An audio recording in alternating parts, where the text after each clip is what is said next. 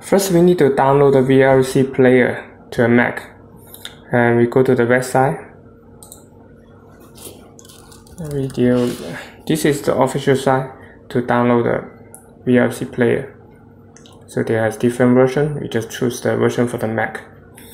After install, we'll see the icon. This is the VLC player.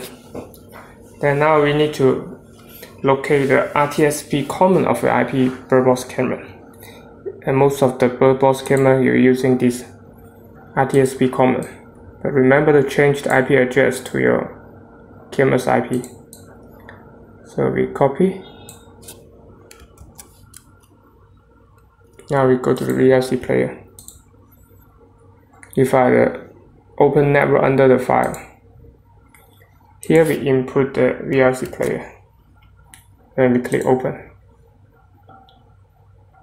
Now we can see the VLC is getting the live video stream and audio from the Birdbox camera. Actually, the VLC player is quite powerful. You also can record the video to your Mac. So now we go to the open source. Remember to check the string out. Here we need to mark the video and audio. Click OK. Now it's very important. Don't don't click open. Just click cancel. Otherwise, it will go to error.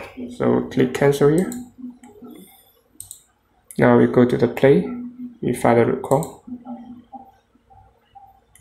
Now the VLC player is recording video file to a Mac. So we go there to click record again, we start the recording. Now we go to the file, open the file. Here we go to desktop, you can see this is the VLC player file we just recorded.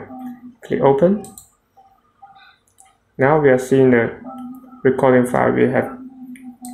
This is a live, sorry this is recording file, not the live. If you want to see the live, you click the another URL. Now this is live. Okay, that's all. Thanks for watching.